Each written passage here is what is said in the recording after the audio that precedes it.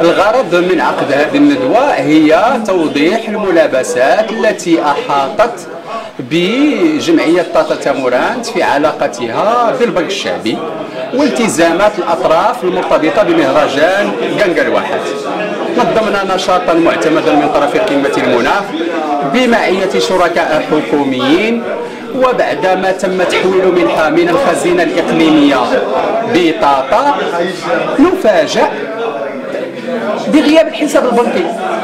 وهو ما تم إثباته بمحضر مفوض قضائي بعد ذلك ظهر الحساب بأيام ثم اكتشفنا أنه تم رفض المنحة التي تم تحويلها من طرف الخزينه الاقليميه يوم 27 12 2016 في محاولتنا لاسترجاع المنحة وفهم ما وقع نجد أنه تم اختفاء الحساب البنكي للجمعية لمرة ثانية يوم 31 واحد 2017 ما تقررت معه للاعتصام داخل الوكالة البنكية.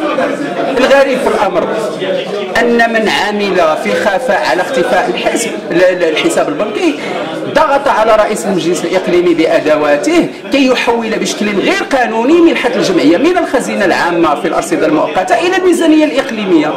وبعد ذلك طبعا النتائج المنتظرة لأنه الناس نظموا معنا عندهم شيكات كاين اللي صبر وكاين اللي ما صبرش. كاين اللي خلصناه من فلوسنا وكاين اللي ما قدرناش. وفي لحظة ما تدفع شكاية في الظل ويتم اعتقالي في بيتي. وأقضي 14 ساعة ديال الحراسة النظرية. السؤال الاخير بعض المتتبعين يقولون على انك مستهدف شخصيا أنا أنا من أنصار الجرد الموضوعي للأحداث والأشياء.